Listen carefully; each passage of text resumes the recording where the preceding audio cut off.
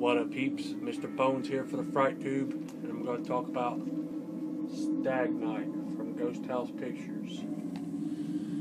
Stars Kip Pardue, who's in Devil's Pond and was in Hostel 3 and a few other things.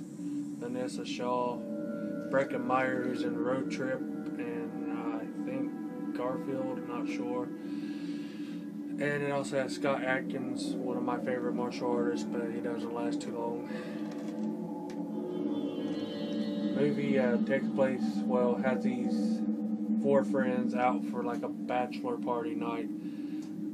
They're at a club, they get kicked out, and then they take a subway, get kicked out. Well, they didn't get kicked out.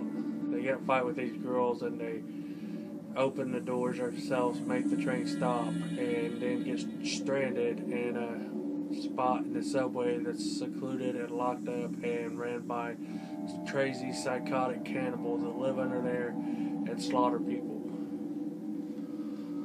movie is pretty suspenseful and a lot of action, a lot of running, survival, trying to survive. And I like it and I'd recommend it that's about all I could say. So not to rent it, I'd recommend you checking it out. Four guys, friends, four friends and two chicks trying to survive and not be killed by these crazy cannibals. That's my review for the Fright Tube. I recommend you check it out.